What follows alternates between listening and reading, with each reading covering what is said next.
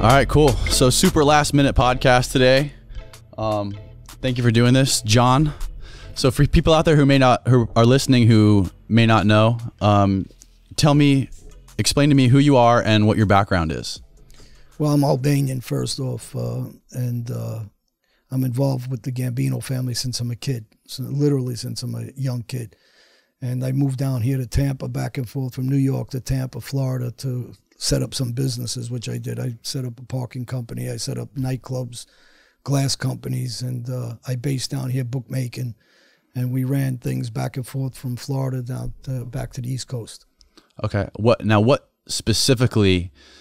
Um, what specifically did you do, like in your height of being involved in all of this and being involved with the Gambino family, and what what are you specifically known for? Well, I was known as an enforcer of the Gambino family. Uh, Okay. Specifically, I worked later on in the years for the Gotti family uh, directly, and uh, was their enforcer, their killer, their uh, the guy that went that you didn't want to see if they had a problem with us. Okay. So obviously, um, if you're admitting you were a killer and you're sitting here right now, not behind bars, how did that happen? I uh, I uh, was in jail many years. Uh, Tampa. Actually, my case was based out of Tampa, Florida. Although I was a, a New Yorker and born and raised in New York, we expanded business down here to Florida, and uh, the Middle District of Florida ended up sending an indictment RICO case against me, and I went on a lot on the run, which they say on the lam, uh, to probably about 20 countries, and eventually I was caught in Brazil uh, by Interpol and imprisoned in Brazil for two and a half years fighting extradition back to this country, which eventually they got me back here and I did the circuit of prisons in uh, Tampa between uh, Falkenburg, Hernan- Hernandez County, Pinellas County, Hillsborough, Lake County. I've been in all these jails here, Miami, MCC. So uh, I'm very familiar with the uh, the system in in Florida, Miami, Tampa area. Okay. And what were you? What exactly were you locked up for? I was charged for uh, drug dealing, uh, murders, murder conspiracies, assaults, and uh, just a slew of everything which they bottle up in what they call RICO. I was involved in a RICO racketeering case and with the Gambino family and uh, considered a street boss. Holy shit. Okay. So how how did you get out of prison if you had a murder charge? How did you beat a murder charge amongst all of these other insane charges? Well, when I was down in in uh, uh, Brazil, when Interpol catches me, I'm doing uh, two about two years, two and a half years there. Well, I I did exactly two and a half years there, and I was brought back here on Christmas Eve, 2006, almost 2007. Uh, extradition law is a 30 year sentence between countries. So I'm facing life here. Once I left the country, in order for them to bring me back, the maximum time I can get on that extradition treaty is the maximum life sentence in Brazil, which is 30 years. So once they bring me back, it's a 30 year term. And, uh, And how old were you then? About 25 on that. I was uh, in, in my 40s, about 40, 41 years old when they when they grabbed me. Okay. With a 30 year sentence. Well, prior to that, I've been in and out of prisons uh, basically my adult life. So I was in and out. Uh, I did a three and a half year bid on a gun charge. I did some assault charges. I did uh, six months, a year, three months, three months violations, uh, bribery cases. So I'm accustomed to the system. Wow.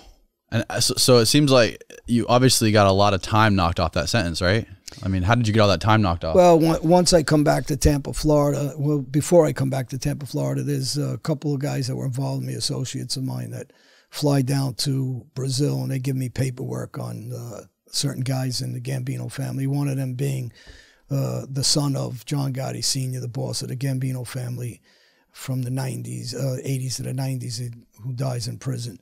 But his son was what they call Queen of the Day. So, Queen of the Day is somebody that walks into the government, makes a, a deal with them to give up crime, uh, criminal activity, and he's free to talk about anything, can't get charged with it. At the same time, giving up activities of uh, associates, members of the Gambino family or of other organizations and other families.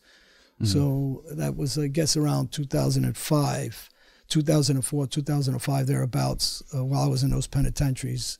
Gotti's son, uh, Gotti Jr., was queen of the day. he was queen of the day, meaning that he talked to the FBI and got full protection from them. Yeah, good, Okay. exactly. Cooperating. Most people don't know what that is, and then it translates into what they call a 302. I mean, you're never going to get all the documents of Right. what he was talking about, but uh, the thing is, he met with the government and he started cooperating. Yeah. How old were you when you started getting involved with these guys? Uh, I was a kid. My father was involved with uh, my uncle and uh, in a gambling business. My uncle was a ran a game called Three Card Monte in the Bronx with uh, Charlie Luciano, was a very famous gangster's name, Lucky Luciano, uh, the cousin of Charlie Luciano. Blackie was my uncle's partner.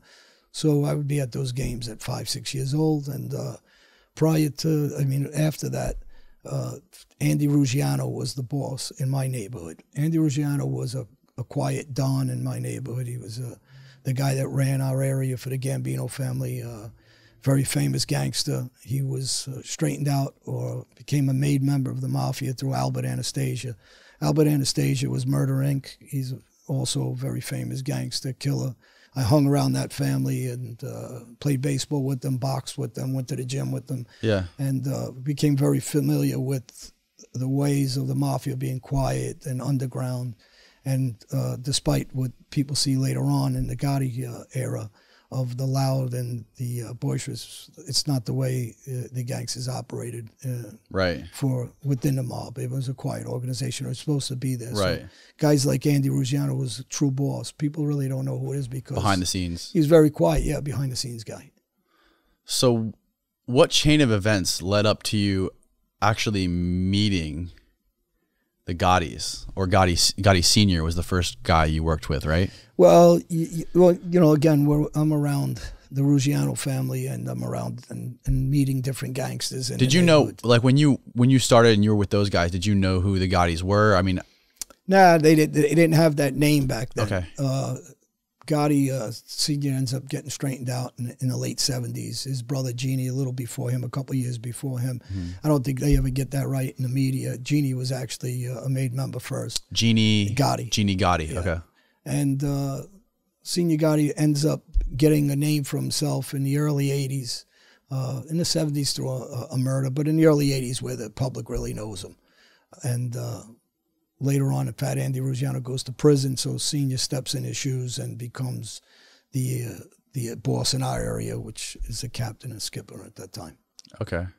So as as time prog- progresses, you know, Yeah. I'm meeting different mobsters in the Gambino family, and Senior becomes one of the guys I meet, and Junior I meet through mutual friends. We're all in the same neighborhood, so it's not really somebody would say to you, it's like uh, living in the Tampa area, and you go to International Mall, and that's where the scene is set, and everybody sees each other on a daily basis. So it's you know just a mixture of where we live in the area. And uh, uh, one of the authors, a writer, Lou Romano, talks about. Uh, you know your zip code and your zip code uh, determines uh, the way of your life and our zip code was uh, if you could spell our zip code my area was 11421 but if you spelled it a different way it would be mobsters incorporated i mean it was just gangsters around and that's how we were raised And what specific area was that?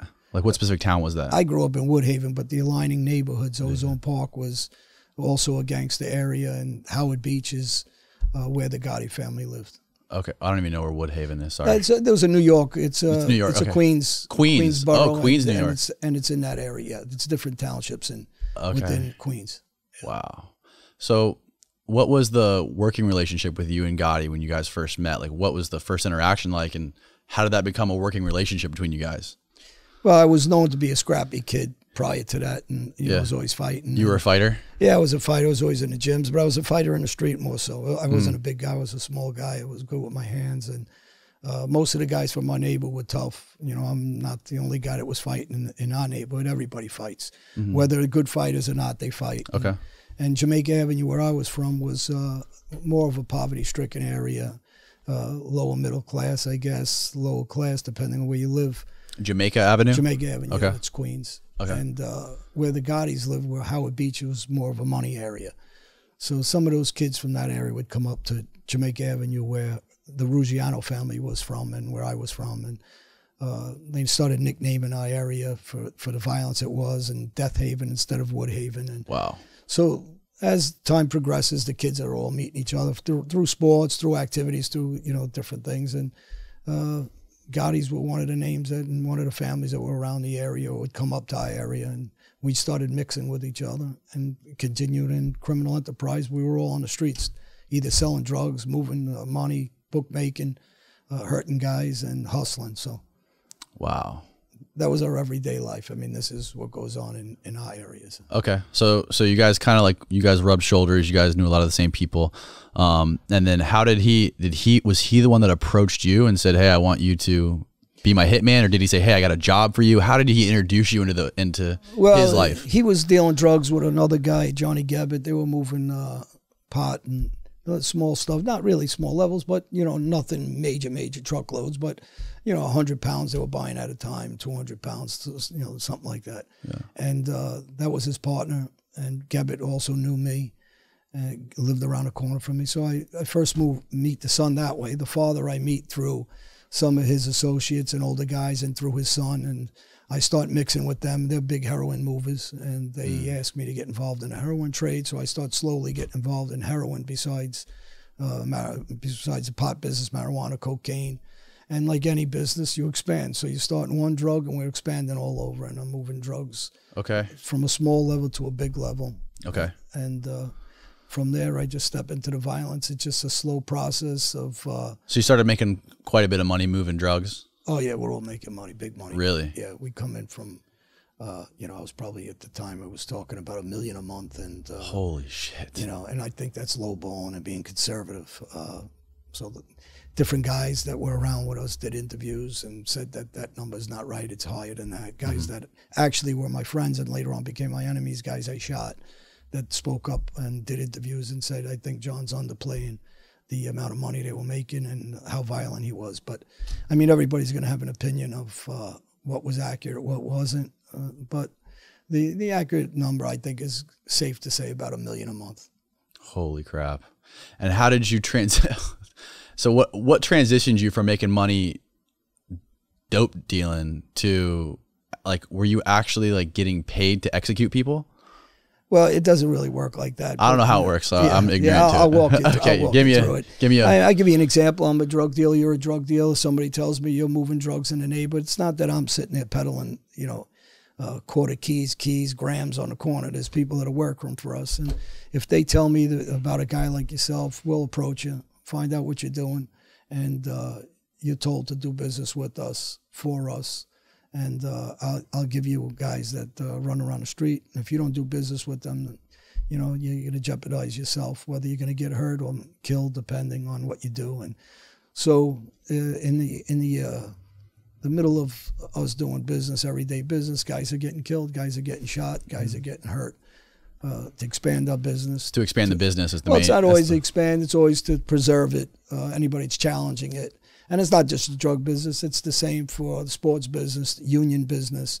So Mm. depending on uh, what the issue is, you know, the whoever's in charge at the time, whether it's you know uh, Fat Andy Ruggiano, whether it's Gotti or whoever, whoever's calling the shots, they'll delegate work to guys like me and different guys to go out and we, you know, we either collect the money, shooting guys, moving drugs, bookmaking, and hustling the streets. So we're controlling our uh, our streets under the flag of the Gambino family, and uh, this is uh, everyday life for us. Wow. How old were you when you first shot somebody? Uh, I first shot somebody I was probably around, uh, I guess, 18, something like that, 18, 19.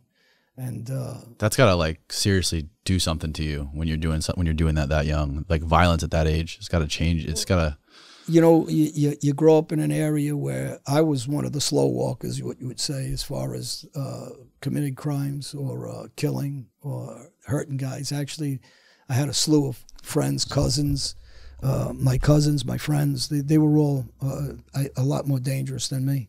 So I was a little more of a slow walker. Okay. And uh, as crazy as that seems, I, I mean, I, later on, I bypass everybody and I start becoming the, the guy that's doing all this work. And one by one, my cousins are getting killed, my friends are getting killed, and I'm out uh, doing the work and killing and and moving uh, towards the hierarchy of the Gambino family. Wow. How many how how many people would you say that you ended up shooting and, or killing? You know, again, I, I, I just spewed it out, uh, spewed out on the uh, valuetainment names, places, dates, uh, witnesses of, of what I did, and I Yeah. held back probably about 25 shootings that uh, I could continue with. And you know, we're doing shows, movies, and a lot of that stuff, and dates and times and places we're, we're Yeah. saving for the actual films that are coming out. The uh, we're doing a series coming out. Yeah, I guess that's a big question. I mean, I mean, judging by you know your past and like the violence and and all the criminal violence that you were involved in, and all the shootings and killings, and the jail time you did. I mean, obviously those are super inter- interesting stories. But so why do this? So why come out in the media and and why talk about all this and and and tell the story? Like, why do this? Well, because here's one of the reasons. When I first was in court uh, during the trials, uh, the Gotti family, their lawyers said I shot about 60 guys. So I never denied any how many people I shot, how many people I hurt, how many people I baseball batted, stabbed. I mean, I was very famous for saying yes, I did. You know, so I don't deny that walk I took in the streets. But you know, one of the things people know that I do now is try to help kids not to follow that path and follow those footsteps and save themselves a lot of pain and uh, and uh, anguish and maybe save their life. So I'm out there uh, publicly uh, doing talks at colleges, at schools, high schools, at uh, juvenile centers, and my uh, thing is to try to help some kids save their lives around the world. And you know, I've been around the world. I do Yeah. talks in Switzerland. I've done talks in the UK. I've done them in uh, New York, New Jersey, Philadelphia, Okay. this area in Tampa, Florida, and I'm very Yeah. public, uh, doing lectures all over and, and trying to, you know, give people the real of what goes on within the streets, what goes on within the mafia and murders and, you know, the everyday life of being a criminal. Hmm And you said you also said that you're you're pretty close friends with Sammy the Bull. Sammy is a, a guy that uh, obviously was an underboss of the Gambino family. Most people know him. If you don't know him, you can look him up. And uh, he's just recently done an interview on Valuetainment, which I also done uh, a couple of weeks prior to him. And you get uh, the basis of his story, uh, mine, and uh, some of the things we discuss and talk about. And Sammy was uh, a very powerful underboss in the Gambino family, very powerful guy in the street. And uh, he was betrayed. And during, you know, the problem with the street and the street world is people that uh, don't really understand it and they watch some TV or they listen to these shows, they think they really understand what you sign up for and how treacherous it is, and they really don't get it. But uh, if you sat at a table with us or you came in a room like this and you sat with us, that opinion that everybody spews out so you know easily on a computer would would be uh, slid back about 30 steps. They wouldn't be speaking like that. So, you know, the guys that do understand the life and understand the treachery, it's uh, Machiavelli times 20, if you know what Machiavelli is, if you ever read. And, and it's, it's a treacherous life. And the reason why we're out here doing this stuff, obviously, some of the things I do, magazines, movies, uh, series, TV series, you do get paid for. But the the uh, the drive for me to do this, or any of the things I do at schools, Yeah. are uh, out of uh, trying to help kids, and it's not for money, it's not monetary. I don't get paid for it, and that I'm not trying to get paid for it. Mm-hmm. So uh, it's just to, for kids to help save somebody's life, hopefully. Wow, that's strong of you, man. I mean, I appreciate you doing that. I appreciate you taking your time to to share these stories. I mean, what kind of what kind of lesson like if you could talk go talk to yourself back then if you could say something to yourself back when you were 18 years old like what was one of the big what's the biggest lesson that you learned from that whole experience from from when you first started drug dealing and shooting people and all your time in prison like what what's been your biggest lesson Well, my biggest lesson is if I can wake up again and be 14 years old and innocent, I'd be saying to myself, "What the fuck are you thinking?" yeah You know, because when I wake up and you know most kids are going to the beach, I was going to train, I was going to run, I was going to do push-ups and work out to play baseball. I was a full, you know, I was a bo- big ball player, baseball player, boxer, but I took all those training tips and became a violent guy. Mm-hmm. You know, batting guys, taking guys' heads off, stabbing guys, and uh, really, I'd have to say to what, what exactly what I just said, and I'll repeat it. What the fuck am I thinking? Why am I out there not enjoying life? And that's the message, really, when you're talking to kids: is there's so many good things you can do with yourself. Go to the beach. Life's beautiful. Travel. Go country to country like I did, but don't yeah do but you need money I to do it. all that right Well, not necessarily. I mean, there's kids all you know that go, especially in European kids. They go abroad and they go from hostel to hostel. They go with a group of kids. You save a couple of bucks. You go by train. You hike. You walk. You take uh, buses. You could do it on a cheap route, but go experience the world. That's the difference. And I mean, listen, you can always, you know, there's kids that young kids, you know, deliver newspapers, uh, go hustle around legitimate, be a waiter, be a busboy, you know, work in stores, you know, work on trucks, whatever. Yeah. You don't need a hundred grand to go travel Europe. You can get cheap tickets and Mm-hmm. go live life. But the idea is the more you experience life, the more you experience different countries, you understand the world a little better. And Mm-hmm. maybe you wouldn't risk your life so easily like a lot of us do. Yeah. And you know, you get a lot of the inner city kids that I speak up for. That uh, you know, you talk about uh, Oprah Winfrey. We'll use for an example. And the inner city kids, you're you're out in Africa, and I feel bad for what goes on in Africa. But if she wants to donate money, what's wrong with our kids here in the United States? Donate it here. Help the kids here. Help the school system. Uh, and, and help everybody get in the right direction. There's a lot of famous people out there that do the right thing, and she is one of them. But I think it needs to start here in our in, in our country where Yeah. there's so many kids that need a helping hand, and uh, I think that's uh, where it should be. You know, that's where it should start, not out, not outside the country. Can you kind of give me the gist or ex- give me the backstory of what the relationship was between you and John Gotti Jr.? Well, you know, I was a guy that was uh, put in a position to, you know, take care of him, protect him, and uh, we had fallen outs over the years. Uh, his father was in a position, whether you like him as a boss or not, became a boss, and uh, although I disagreed on his leadership in a lot of ways, he was a gangster. Uh, the son, on the other hand, was uh, what I call a spoiled brat. Uh, Right. uh, guys make fun of him, call him diaper uh, diaper Don now, and different things because of what he does with the media, as far as you know, social media. I'm talking about. He doesn't get on. He just did. A, they just made a movie about him, right? They did a movie and made a movie about his father. It, it tanked. Uh, About his father. Okay, yeah. with John Travolta. John Travolta. It was a disaster of a film. They say it was the worst film ever in the history of mobs. Really? But be, again, because the son tried to hold and control the what was you know being written, how it was being written, and you know he destroyed uh, whatever they were trying to do with the movie by trying to control it. So right. this is the problem with him. He's uh, doesn't do anything where he comes out in a positive manner. Tries to help some kids. Doesn't come out and be truthful. You know, we have to.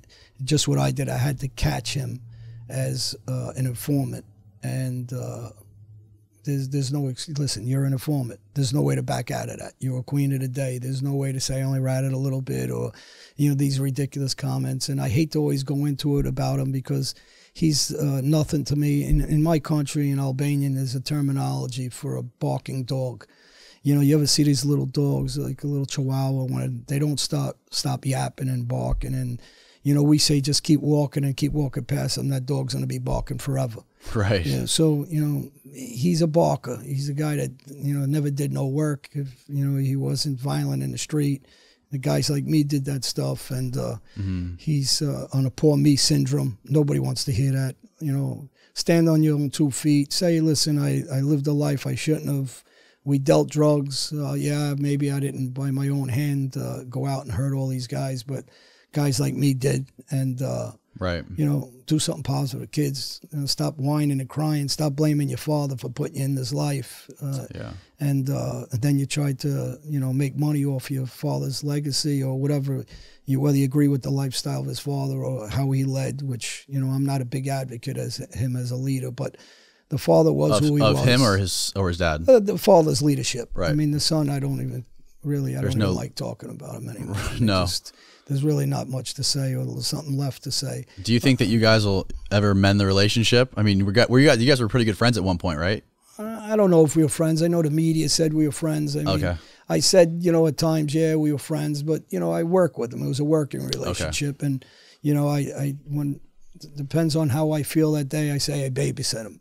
You know, he's just a spoiled guy. You know, it, until he faces the the truth about himself that he was spoiled, that he was kind of a bratty kid, uh, spoon fed, uh, you know, fed and uh, spoon fed, and uh, you know, I'm not going to have too many good things to say about him until he steps up, he's you know, he becomes a man and does the right thing with kids, and you know, stops bullshitting everybody, and you know, just say, hey, listen, if there's a way to change that you were queen of the day, I just want to know about it. But there really is no way to change that. You were queen of the day. Well, I was in penitentiaries and other guys, and you started talking, giving us up. We don't know exactly how many times you met, and we don't know if it was for years, but you were an informant. And there's no way changing that. You took yourself in and met with the government, and uh, you're trying to spin it somehow. And there's no street guy, not one, that will say anything different, but that he was an informant and a cooperator, rat, or any dumb word that he uses.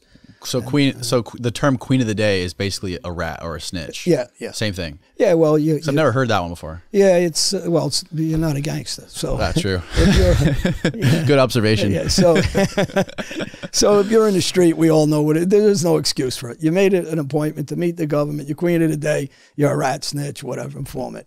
Right. So guys like, and that's the thing. He he's trying to sell something to guys like you that don't know what all this is. Okay. So gangsters know what it is, and uh, street guys or criminals, and so you know there there is no change in that. You know, the problem is with most kids, younger kids, when they get involved in the street, they don't understand informants. They don't understand when they're staying with ten kids.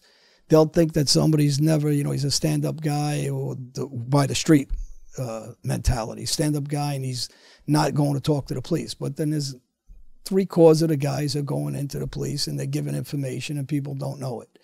And as yeah, because you on, yeah, I mean, it, it, seems like one of like the the number one rule when it comes to any kind of any kind of street business or or anything. The number one rule is you never snitch, you never flip, right? Because that's that's your dignity. That's that's everything right? That, that's what you're judged on. That's the number one thing you're judged judged on.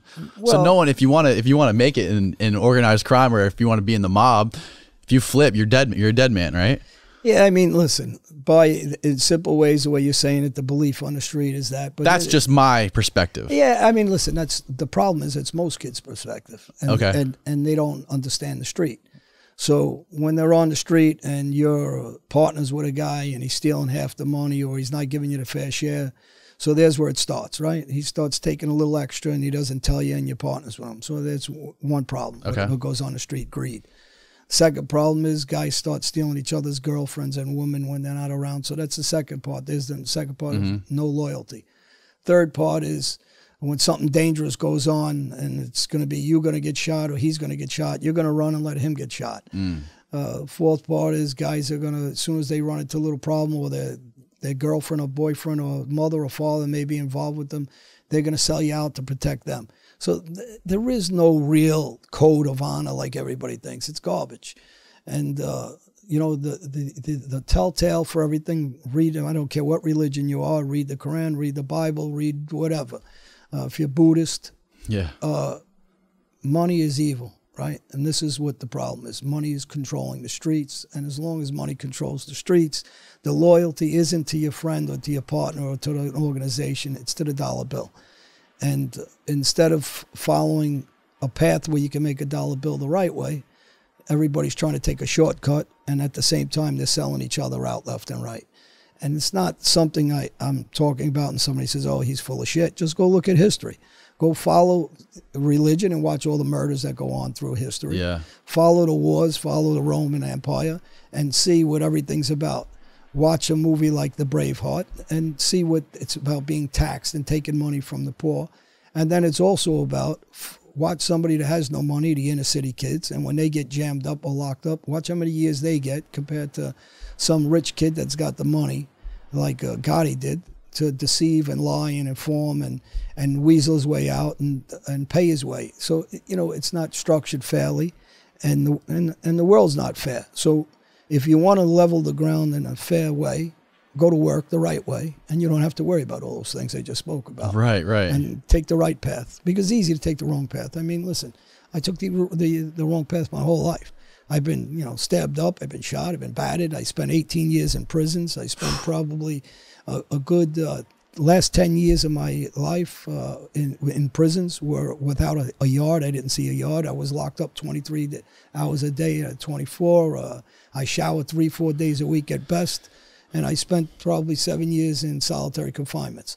So when people say, uh, you know, fuck you, or they don't want to hear what you got to say, listen, I can't make everybody listen, but I hope the people that uh, are suffering a little bit, or people that have jammed up with cases, or people thinking about going that way, uh, take a second, uh, a second stance and say, you know, I don't want to end up in these prisons. I don't want to be shot in the head because, you know, I can maneuver guys all over. That's what I did for a living. I get friendly with you, and uh, after I get friendly with you, you think you're involved with us, and I shoot you in the head.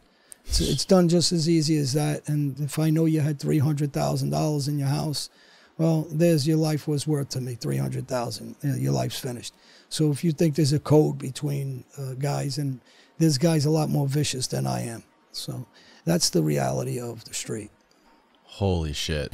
It's not all my stories. You can go listen to podcast after Yeah. podcast, mob, different mob, true life stories of different Yeah. mobsters that are talking.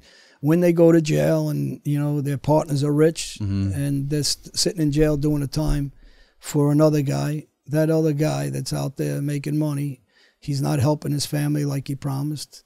He's not doing anything. He's not visiting him in prison. He's not uh, stepping up and, and doing anything to help that guy get through the time. And and you're going to hear these stories. They're going to have guys sleeping with guys' wives and girlfriends. These Yeah. are regular stories. These Right. aren't, you know, this is not something that we don't know, that we don't, you know, think, wow, that's a big surprise that happened to the guy. I mean, every time I hear another guy telling a story, I want to say, well, this is exactly what we already know about, you know. So I'm a guy that's been in prisons and I've been international. I have friends in every country. You name a country, and I'll tell you I could get you in touch with somebody in that country. So you know, it, it, I'm not just some neighborhood gangster. You know, I was a guy that traveled. I just came back from traveling four countries. I probably since I've been home went to about 25, 30 countries. So I know the world. I know people everywhere, every country. So how did you transition from New York and Florida to going overseas? What were you doing overseas? Well, you know, since I'm a kid, you know, I had friends in different positions, different uh, mob families outside of the Gambino and the Italian mafia. So I had organizations that were friends with me with from the Colombia, which I was doing business in the cocaine business. Okay. I have a friend of mine, Klaus, that did uh, business with me since the early '90s and with marijuana from California, from Denmark. So we're still good friends. I got friends that uh, were the bosses in uh, in families where ran things in the UK, like the Sabinis, that I'm still friends with. Uh, so I can go through my, Alba- my Albanian culture. I'm Albanian. We're a, very you know rough, hands-on kind of culture, very violent. Oh yeah. Uh, we come from you know a suppressed country from the Ottoman days till Turkey taking us over to uh, communism. So you know I have friends in Albania and and uh, guys that were in business with me for years that are back in that country, uh, Italy. Uh, so I can go on with country to country, Germany, uh, Switzerland. So you know these are all partners and friends of mine over the years that that uh, were in all these countries. So I, I traveled those countries. I had hooks in those countries. Canada, I have hooks in those countries. And we did business, whether it was through money, whether it through drugs, whether it was through sports, whether it was helping each other. If a friend of mine had a problem in the UK, which he did, and somebody came to the United States, he asked me to go hurt him from, I did. So we reached uh, a lot further than, you know, a typical, you know, a lot of these mob guys never leave the neighborhood of Queens, Brooklyn, Staten Island, Manhattan, wherever and I had the ability because of some of the contacts I have around the world to uh, have the ability to do what I want, and I also did it in a, in a good way. I have the ability to go visit those countries and hang out, drink, and have some fun. So I choose my life a little different now to Yeah, have some sure. fun, drink, and uh, and talking about you know different things in those countries. And I'm doing shows and magazines about prison in Brazil, and some of the guys that were in prison with me in Brazil are from the UK. They just did a show with me in the UK, and they talked about uh, exactly how dangerous the jails were there and how they survived through me in those prisons. And The prisons in Brazil. yeah, I was in I was in three different penitentiaries. In Yeah. Brazil, three different Brazil. prisons in Brazil. Yeah. What was that like?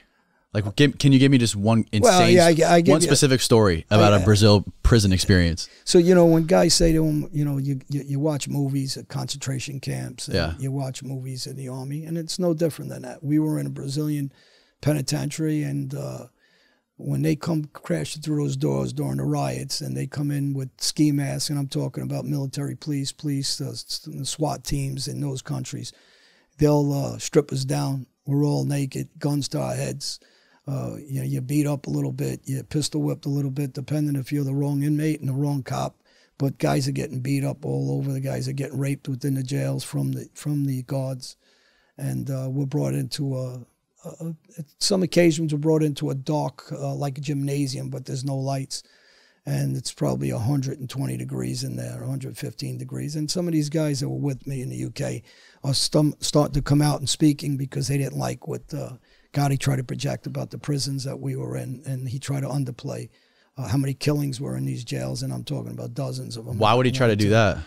Uh, I don't know. I, I, I guess you're gonna have to ask him that if you ever do an interview with anybody. And uh, you know, these things like we're doing here, they're not. You you know this obviously. You can ask any question you want. I don't Yeah. prearrange them. Right. I talk just from the heart. I talk out of experience. So Yeah.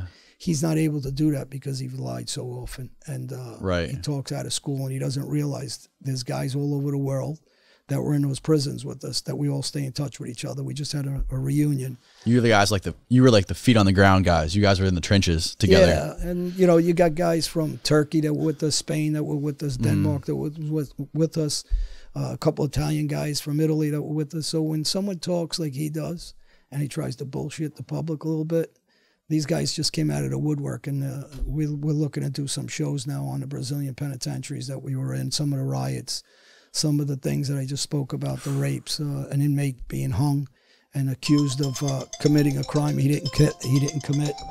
Uh, so, excuse me. I gotta, No, it's okay. You can if you need to answer, it, you can answer. no. I don't need. Okay. So you have uh, guys coming out of woodwork and they weren't happy with some of the things that were said, and uh, they wanted to set the record straight. At the same time, uh, they're starting to do uh, podcast shows about Yeah. their experience in these prisons, uh, how Mm-hmm. they survived them, how they credited me for some of the violence I committed in those prisons to save them, and some of the stabbings I did, Mm-hmm. and uh, some of the killings they witnessed, some of the rapes they witnessed.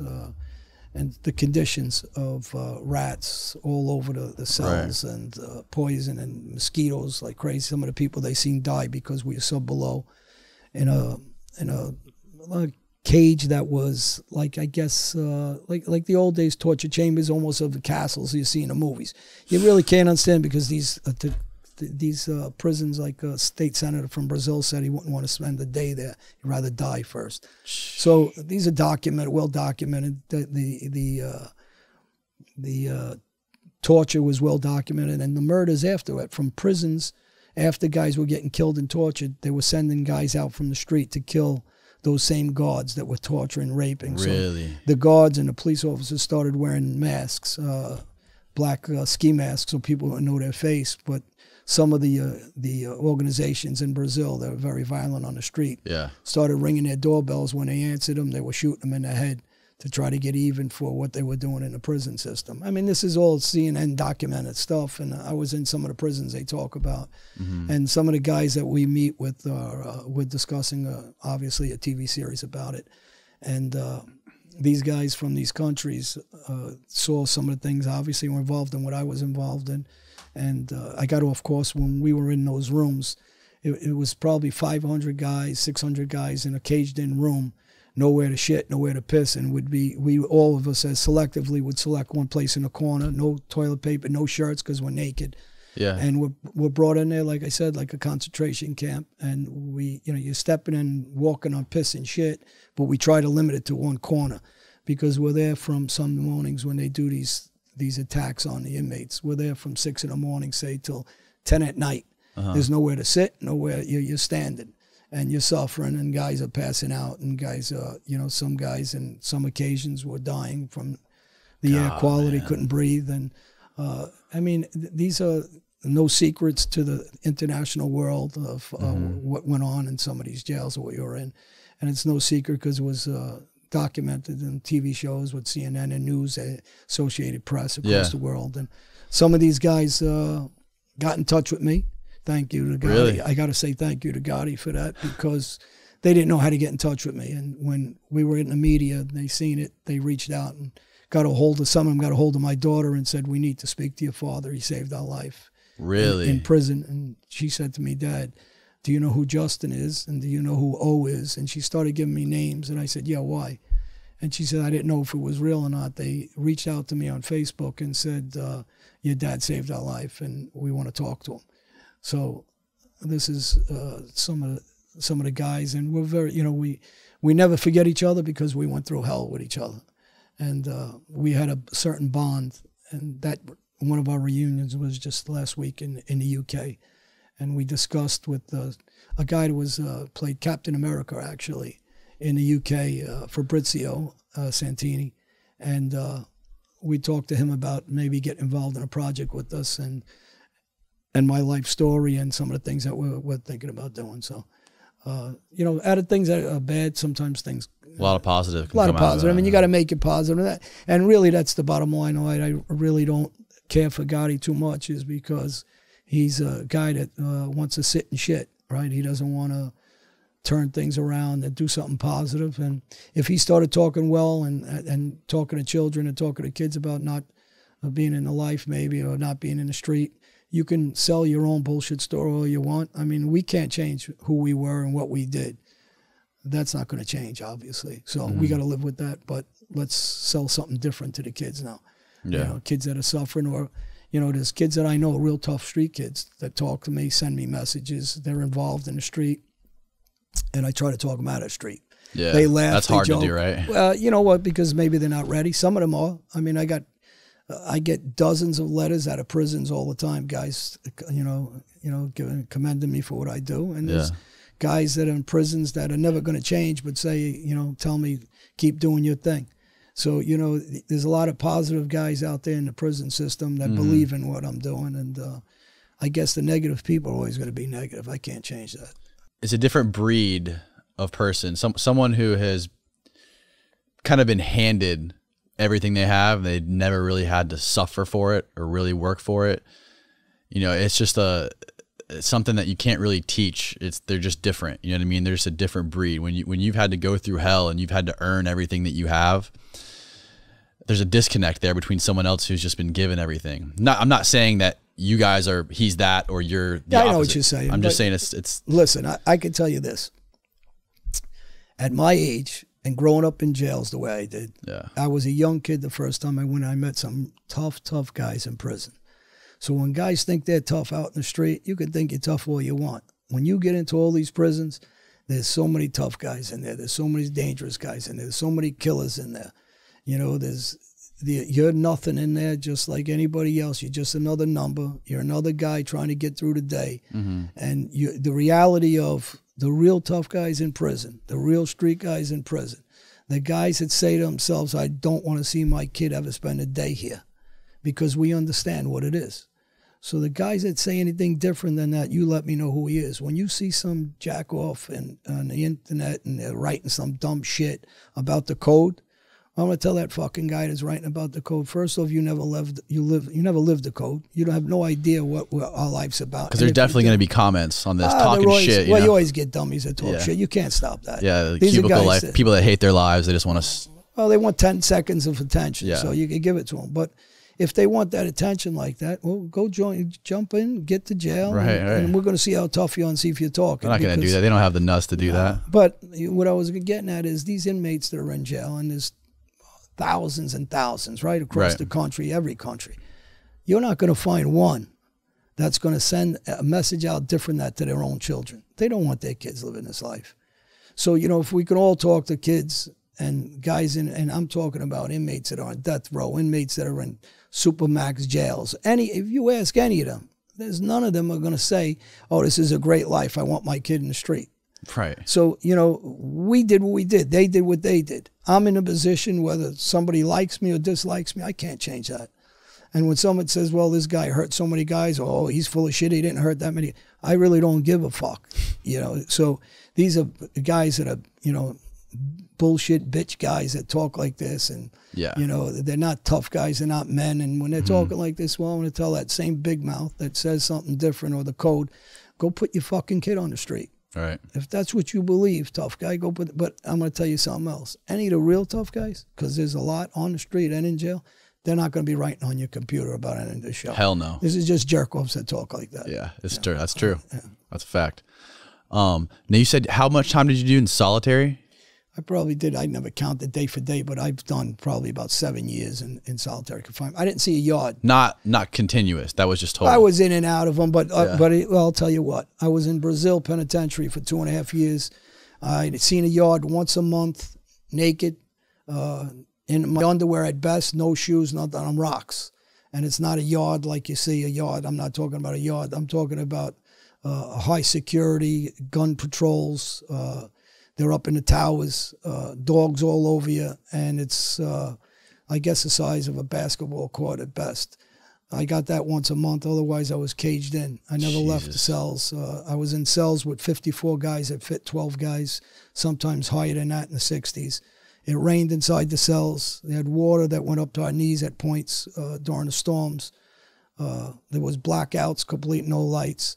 So you know th- that was the conditions. When I came to Florida, I was out on the tiers for a while, but you're on tiers that you don't go out to a yard. You What go does into that mean? another cage. Tears? Tiers are your double level tiers in Florida prisons, Oh, okay. uh, and you don't really leave the, that that pod. Uh, then I went into solitary cells uh, for a couple of years, and then I was in MCC, forced into a unit where uh, there's nine cells on the floor, and you're not leaving those cells, and you're, you're stuck there 23, 24 hours, and you go up on a basketball court at night uh, for about an hour, three days a week. So I never seen an actual yard. So that was 10 years of that. Uh, prior to that, I was in and out of uh, solitary confinement for fights, six months at a time, eight months. I was I did about a year straight at another time. So yeah, I spent my fair, share of time in in uh, solitary confinement. And listen, I'm no different because you'll hear guys complaining about it. But when you're a high profile inmate, which I was, I was chased down by Interpol in every country. And uh, when you're killing guys and hurting guys, I'm no different than a lot of these guys. We're all going to the same thing. So what I'm saying is, uh, it's not a life to live like a dog in a cage Right. and showering and with a camera watching you, and you you know you're on these secure cells. So there's cameras in the room. You take a shit, they're watching you. You- Yeah. You, feel horny that day and you want to jerk off, they're watching you. So this is the life that you chose to lead. So when a guy talks uh, out of school, and you're going to get dummies that talk like that all the time, they have no idea about how I lived and a lot of inmates just like me. It's not I'm poor me. Only I did that. right. It happens to all of us. We all go on diesel therapy, meaning they ship you from. They used to book me into my cell here in Florida, right? This is when they brought me back. Diesel therapy? Diesel therapy. This is what they would do to me. They'd bring me to a jail on Wednesday. Okay. I'd wait all day and get checked in through booking. So you're in the on the floor about eight hours waiting and fingerprinted and chained up, and they bring you to a holding cell, and they bring you to your solitary confinement cell. You get in there Wednesday night, and you can't order commissary because you just came in. By Sunday, instead of letting me order because they come around with the commissary lists and I could fill them out, I'm moving again. They're going to ship me to another jail, and we're going to do it all over again. And when they ship me in, and this is constant for me for a good year, and I didn't see no commissary, I didn't see no books, I didn't have no radio. So when guys talk about how how the life is and how they can talk, they have no clue. They're clueless because they didn't go through all this. And I'm not the only guy. I'm one of the guys of high, you know, security inmates that are known to be dangerous. Were moved around with chain belly chains and chains on our legs, on our feet, on our hands, uh, with black box where you can't move. Also, uh, and possibly get out of those handcuffs. This is typical treatment of any of us that are in those positions. Wow. So when someone says like they're the only ones, that's bullshit too. Yeah. That's you know maybe the the average inmate don't go through this, but we do. Yeah. So you know these are the things that you're trying to tell, and there's some serious killers in prisons now that Mm-hmm. write me and stay in touch with me on a regular basis, and are never getting out. And these guys are uh, guys that are saying to me, "Brother, keep doing what you're doing. Really? Save some kids." Yeah, because you know only haters don't want to see this. Right. The- the- you know when people are jealous or people hate Yeah. uh, another another man's life. They want to see that person suffer, right? Mm-hmm. So I see you doing good. Should I bring you down or should I pick you up? So Right. I, I choose to pick you up. Yeah. You know, if I've you dealt with a lot of people who like to talk down and and shove you in the dirt and tell you you're nothing. And Well, I don't know You if you're a fighter. Do you fight? Do you get into fights? no, I don't get Okay. fights. So here's I used to do. Uh, I've done like uh, jujitsu and that kind of shit, but I've never been. I haven't been. I've been in like two street fights in high school. Well, did, well, I'm going to tell you. Did you get paid for those two street fights? Hell no. Yeah, so why would you want to fight? exactly. Okay, and you're going to tell me that you can beat everybody up in the street? Of course not. Can I? Of course not. There's Right. guys out there every day can beat up the next guy. I, I use Mike Tyson as an example. Uh-huh. Toughest guy around, and there's idiots that get drunk that want to fight him. Right. I mean, so you know, and same with him. He lost plenty of fights. The idea of fighting the street, does it get you? I says, you're going to run into a jerk off that's drunk or high and he wants to fight you. Walk away, let him fight somebody else. Eventually, he'll run into the guy that wants that he'll get what he wants. He's Yeah. going to beat him up. Right. But if you're not getting paid for it, why you bother doing it? Right. So you know, and jujitsu and the things you're in, those are positive reinforcements. They learn to teach you to respect the sport, not disrespect the sport. And the idea of me telling you, uh, do you fight? I- respect you the same way if you never got into a fist fight in your life. Right. That's not a judgment of being a man or not. Right. Judgment of being a man is being gentleman, go to work, do the right thing, and pass a, a positive message. Right. So, Right. you know, it's easy to pause, uh, pass a, a, a bullshit message. I can, I can soup up, and you know, I probably got one of the strongest guys in as far as having a following in every country. I can soup guys up all over and have guys using guns and shooting people for me. I could, uh, if I felt like taking Gotti tomorrow, it's th- that easy. And if Okay. somebody says anything different, uh, then they don't know what the fuck they're talking about. And in just in my culture, guys will do anything I want when I want. I don't live that life anymore. So, uh, you know, my message isn't about Gotti or guys like Gotti. My message is for those guys that are in prisons, uh, the inner city kids or the tough guys in those prisons that are sending messages out to me. John, keep doing what you're doing. Save some kids' lives because our lives were ruined. Let's not let's help these kids not ruin this. Right. You, you, you know, you talk about Gotti, and I think I, I said this earlier. I hit on Gotti before, you know, before we wrap it up. Is, you know, some of his family members are uh, really guys that their family suffered, and you know, and I've talked about Gotti, you're talking about Gotti's family members? yeah, yeah. Some of them eh, also in the life and jails and some of their kids and some of the things that went on. I want to see him tell somebody this was a good life. You know, I, I want to see him say, you know, oh, I want my son in this life Right. because th- there's nobody that's going to say this. So if you can find me one, I'd love to get on the air with you with him. I'll come and meet him and sit down and Someone What- who's proud of that life? what dummy wants their kid in that life? Right. call your father, to, call each kid. And there's kids out there that don't have parents, that aren't able to, to anybody to tell them this. Hmm. But those kids that don't have parents, there's no excuse to be in the street. I used it as an excuse. There's no, I have parents, but you know, none of us come from a perfect life, and my, my parents weren't the greatest parents in the world. None of nobody's parents are perfect, and hmm. we're not perfect. But to push somebody in the street, you got to be a real scumbag. So I'm going to keep doing what I'm doing. I'm not pushing no kid that way. I'll push him this way, and hopefully I can reach some and hmm. some adults too. Mm-hmm. And you know, people ask you, well, he's talking about this gangster. I know a lot of gangsters. Mm-hmm. No one's ever going to say you're not going to hear me deny that I'm not friends with a lot of gangsters. Right. But I'm not choosing their path for them. They could choose their own. Mm-hmm. You know, if that's what they choose, unfortunately, I think eventually they're going to suffer the path they're taking, right? But I'm not going to choose. I mean, they're friends when we joke around, and uh, you know, I I use the word I'm retired, right? That's my word. You're retired. So I'm retired. That's you, it. you look like you still put a beating on somebody. I, you know, listen, I work out every day. Yeah. Push ups in the gym. I box still. I'm still pl- playing around with bags and all that. yeah.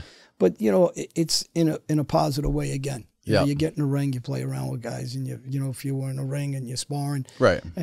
without the attitude of the street. The street is is uh, like I said. Listen, I'm involved in the fight business. I'm friends with a lot of professional fighters, and you know we joke about it all the time because there's guys out in the street have no idea some of these guys are, and they want to fight them. so you know they say the same thing I'm saying. Uh, you want to fight? You can fight all day. Go to gyms every day. You can find a million guys to fight.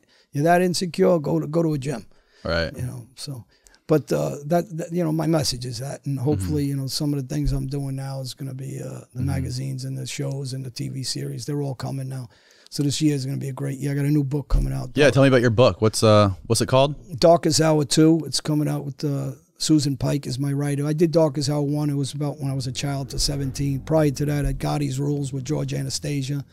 And i have a handbook out uh, called prison rules the do's and don'ts so you don't find yourself in prison and Okay. uh, the situation for adults young you know kids and for parents that need to try to reach their their, their children maybe they you know And that's that- that's a book people that are in prison they can get their hands on. yeah, all these books are you know through the internet, through Amazon, through uh, through uh, Barnes and Noble, and uh, Darkest Hour Two should be out by February, and that'll be more of uh, uh, hardcore mafia stuff and some of the killings and shootings and uh, things that went on in prison systems. Wow. And man. so that that that their book would, uh, I think, uh, will be a little more uh, uh, to the point. Can you tell me like what did like what did you have to do? Like how did you get out of prison so quick? Did you have like good behavior?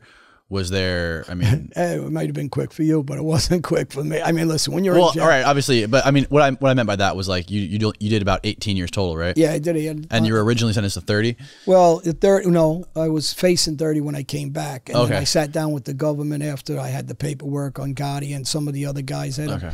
You know, 54 guys went and testified against me in a grand jury, so you know. Holy shit! So it wasn't one or two. And then I, on some other shows, and if somebody's interested, they could look what I said. And I named boss after boss that were testifying, giving information. So these I guys these guys tried to died, these guys betrayed you. Yeah, they, guys. yeah, they ain't switching this around. They betrayed me. I didn't betray them. By their set of rules, uh, they all ratted. Uh, later on, I come in and and I said that that's it. After I went through each boss and each captain, and they're making statements, all of them against me, and so you know, without getting into all that crap, people can look at my books and read Yeah. or watch some of the other interviews, and they can see it.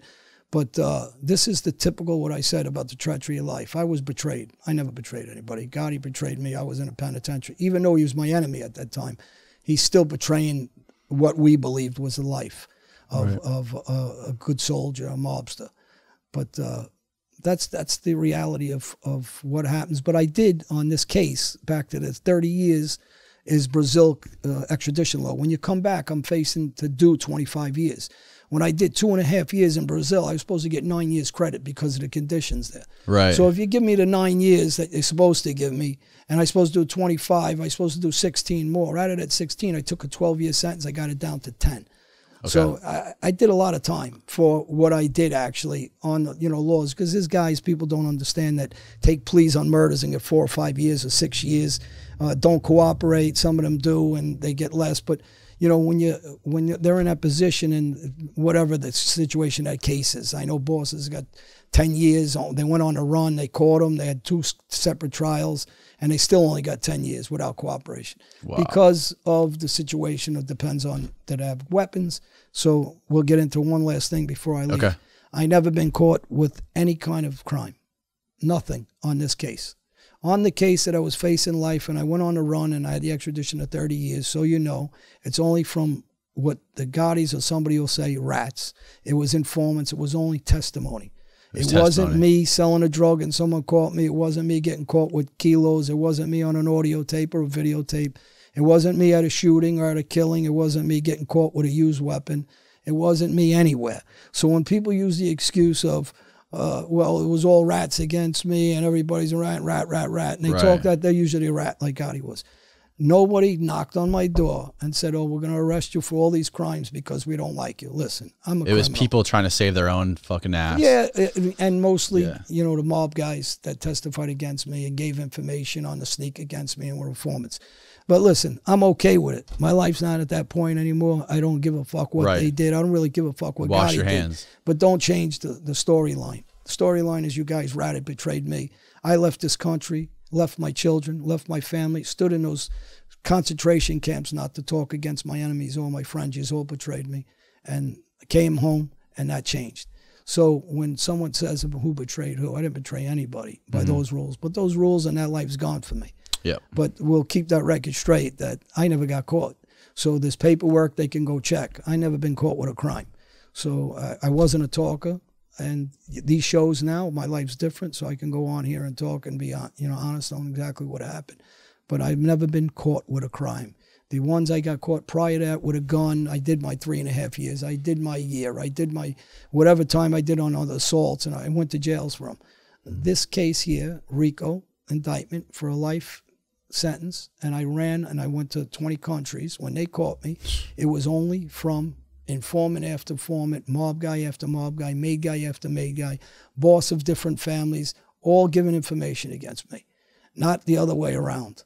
So somewhere in this public, they switched that around and they thought that, hey, this guy was given. No, I left this country. I spent millions of dollars to fight uh, and left my children, fight with lawyers, attorneys, investigators.